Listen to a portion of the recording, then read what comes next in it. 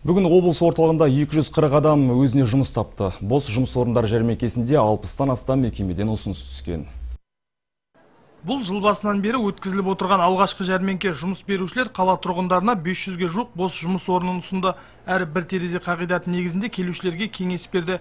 Екі қолға бір күрек іздеп келгендер қатарында қолында ешқандай диплом жоқтар да бар. жәрмеңкеге 36-ға жуық жұмыс беруші қатысып 246 мына жұмыс орнын ұсынды. Және де 31 мекеме ә, қосымша 299 жұмыс орынды қазір ұсынып отыр.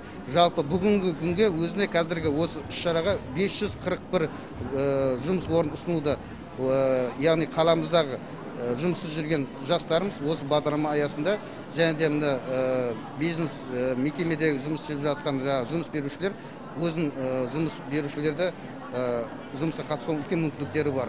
Динара Рысжан жарты жылдан бері жұмыссыз отырыпты. Бүгін мамандығына сай қаладағы жеке оқу орталығының біріне қазақ тілі мен әдебиет пәнінің мұғалімі қызметіне жолдама алды. Бұл жас маман үшін тұрақты жұмыспен қамтылуына жасалған алғашқы қадам. 2021 жылы Қазақ ұлттық қыздар педагогикалық университетін тәмамдадым. Бүгінгі өткізіліп жатырған бос орында жәрмеңкесі бойынша жастар тәжірибесімен талант оқу орталығына жұмысқа жолдандым.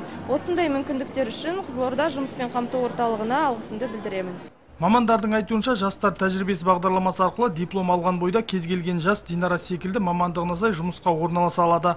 Бұл ретте қойылатын басты талап оқуын бітіргеннен кейін 3 жыл көлемінде еш жерде жұмыс істемеу шарт. Биылға осы мүмкіндікті 849 жас маман пайдалана алады.